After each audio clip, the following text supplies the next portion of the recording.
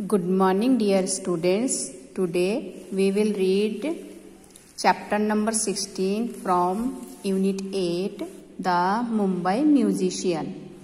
बच्चों पिछले चैप्टर हमने यूनिट 8 का चैप्टर नंबर 15 रीडिंग किया था ना I am the music man और आज हम रीडिंग करेंगे द मुंबई म्यूजिशियंस ठीक है जैसे जैसे मैं रीडिंग करूँगी आप भी मेरे साथ साथ रीडिंग करोगे। जब ये वीडियो देखोगे, तब अपना बुक ओपन करोगे और रीडिंग करना है।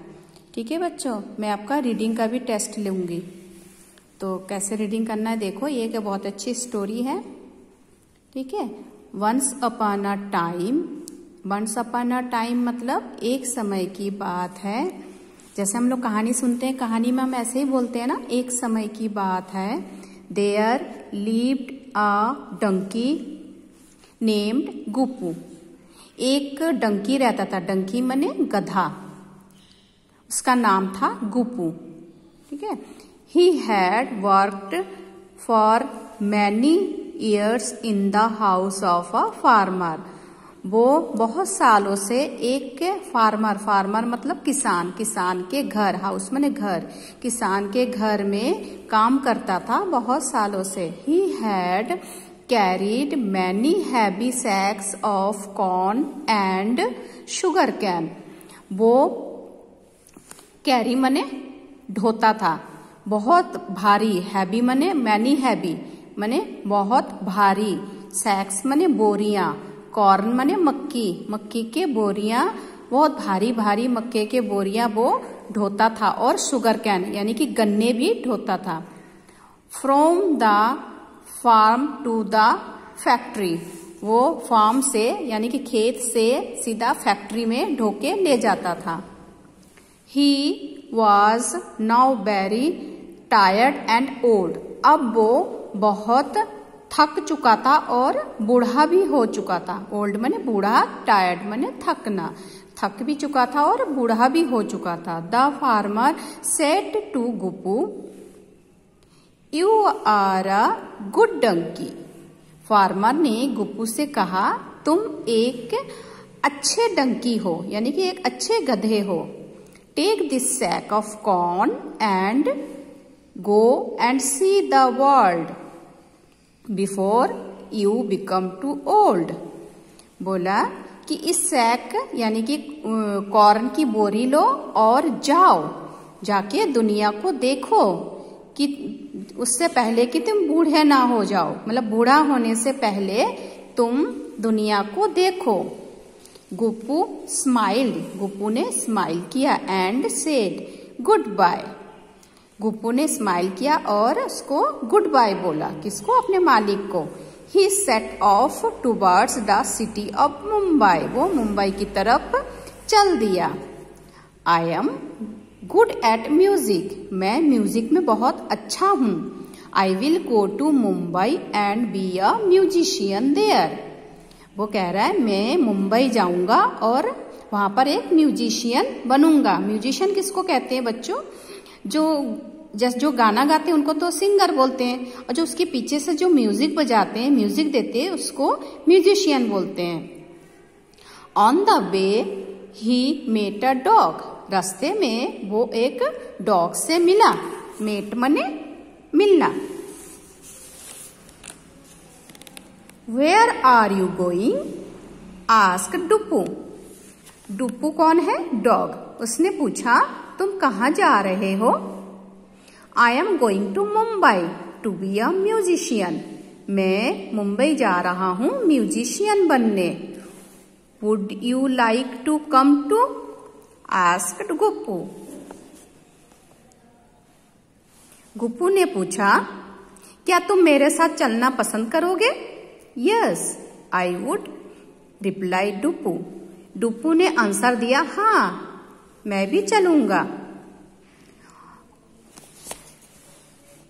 off we off went the two friends on the dusty road to Mumbai.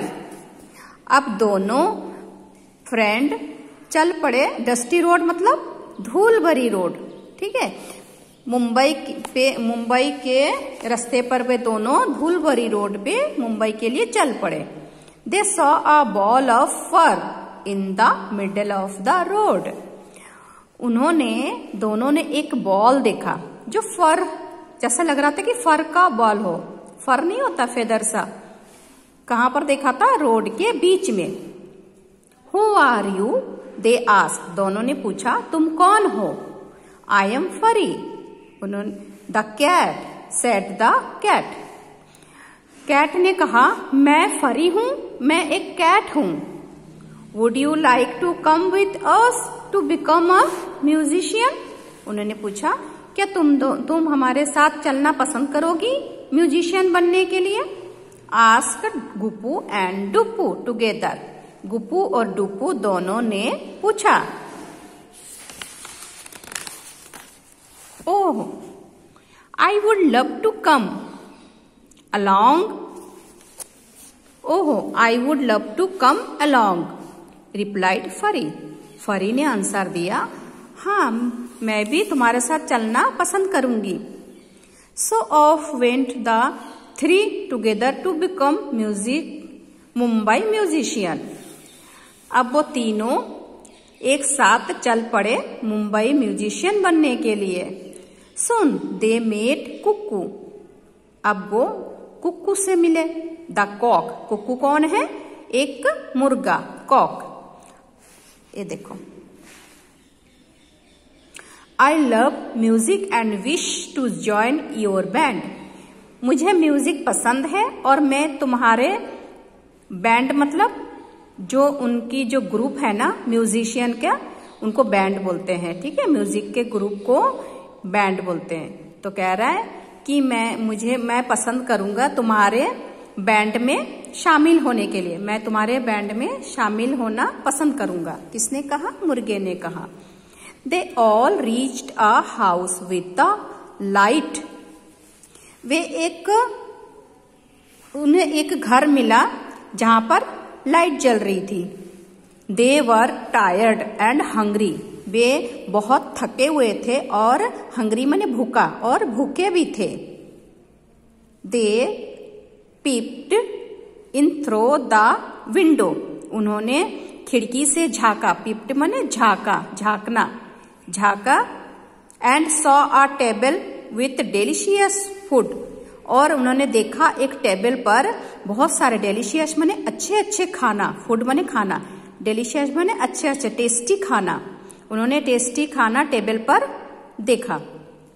They decided to sing to let the people inside know that they were musicians उन्होंने decide किया कि वो गाना गाएँगे और अंदर जो लोग हैं, वो गाना सुनेंगे और उनको पता चल जाएगा कि ये म्यूजिशियन आए हैं। दे सैंग उन्होंने गाना शुरू किया। The people inside thought that ghost had come to scare them जो, उन्होंने जब गाना शुरू किया, अंदर जो पीपल थे, उन्होंने सोचा थॉट मैंने सोचा था थिंक मैंने सोचना। थिंक का सेकंड फॉर्म क्या है? थॉट तो उन्होंने सोचा कि घोस्ट घोस्ट मने भूत, कोई डरावनी चीज़। आगे हेड कम मने आए स्केयर दे मने उन्हें नुकसान पहुंचाएँगे।